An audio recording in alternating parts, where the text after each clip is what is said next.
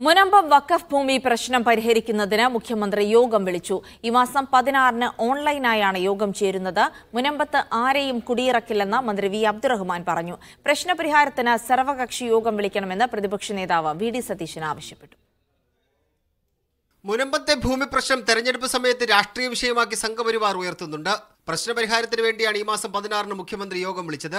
നിയമമന്ത്രി P Rajeev revenue മന്ത്രി K Rajan വക്കഫ് ചുമതലയുള്ള മന്ത്രി വി അബ്ദുറഹ്മാൻ വക്കഫ് ബോർഡ് ചെയർമാൻ തുടങ്ങിയവർ യോഗത്തിൽ പങ്കെടുക്കും. മുനമ്പത്തെ അറുന്നൂറ്റി പതിനാല് കുടുംബങ്ങൾക്ക് റവന്യൂ അവകാശങ്ങൾ പുനഃസ്ഥാപിക്കുന്നതായിരിക്കും യോഗത്തിലെ പ്രധാന ചർച്ച.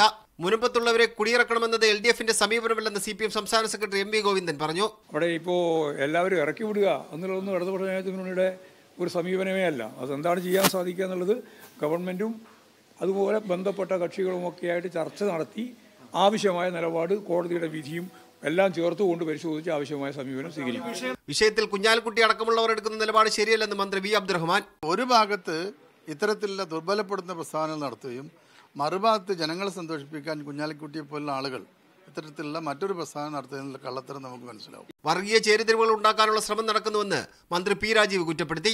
ഇത്തരത്തിലെ ധ്രുവീകരണത്തിന് ചില ശക്തികൾ ശ്രമിക്കുന്നത് മുൻപ് തന്നെ അവരുടെ അവകാശം സംരക്ഷിക്കാൻ എന്താണ് സാധ്യമാകുന്നത്? അതാണ് സർക്കാർ അന്നും പരിശോധിച്ചത്. വിഷയം ചർച്ച ചെയ്യാൻ സർവകക്ഷി യോഗം വിളിക്കണമെന്ന് ആവശ്യപ്പെട്ട് പ്രതിപക്ഷ നേതാവ് വി ഡി സതീശൻ മുഖ്യമന്ത്രിക്ക് കത്ത് നൽകി. വക്കഫ് വിഷയത്തിൽ ബി ജെ പി പ്രതിഷേധം തുടരുമെന്ന് സംസ്ഥാന അധ്യക്ഷൻ കെ സുരേന്ദ്രൻ പറഞ്ഞു. Media one Thiruvananthapuram.